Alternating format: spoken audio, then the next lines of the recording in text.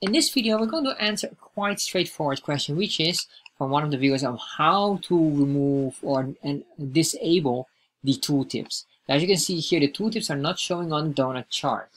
And normally the documentation is very straightforward with that. But if you're struggling, it would mean that maybe you're confusing yourself with Chart.js 2 and Chart.js 3.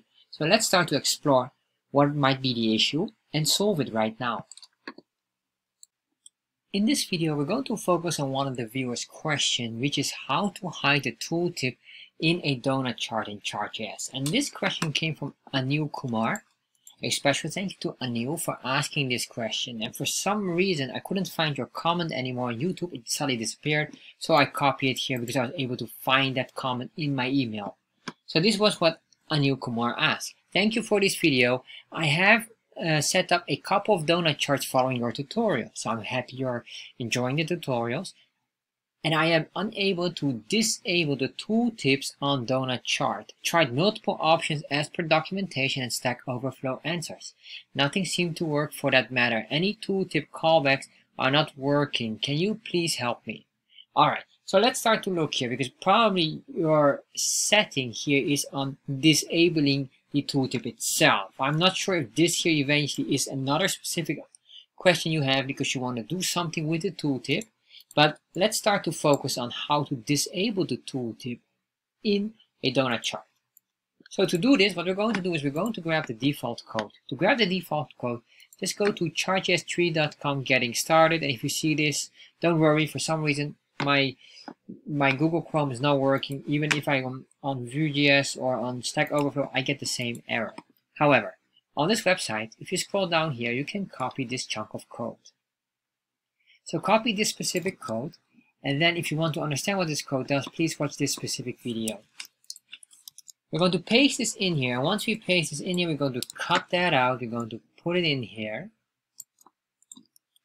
then we're going to save and refresh. Alright, so now we have a bar chart. Let's convert this into a donut chart.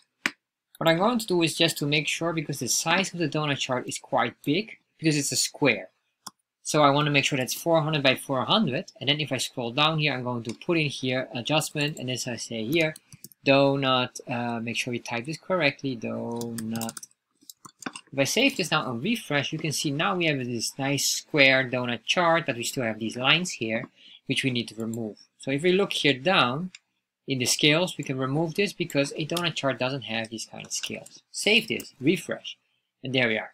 So now we have our donut chart, and if we hover over, we still have the tooltip here. So let's start to remove the tooltip. To do this, just to be sure is you have to make sure you're using Chart.js 3. So I assume you use Chart.js 3. So you have to put in plugins. And once you're in the plugins, the next thing what you need to do is to say your tooltip.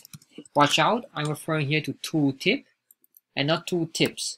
In Chart.js 2, we are using tooltips. In Chart.js 3, they change that and they make it tooltip. So, and then in here, we can say here enable or enabled with D, and we set here on false. The moment we do this, oh, sorry, I don't want to do this one here.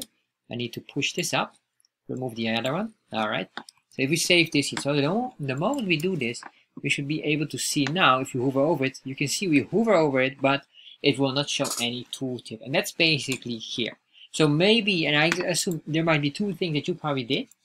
Maybe you're using S for tooltips, or you use here display and you say display false, which is not the case. But if you have a legend and you want to hide the legend, display false works on legend, but not on tooltip. Why they have this inconsistency, I don't know. I guess that's just one of the uh, choices that the uh, contributors of Chart.js made. So this is basically the answer.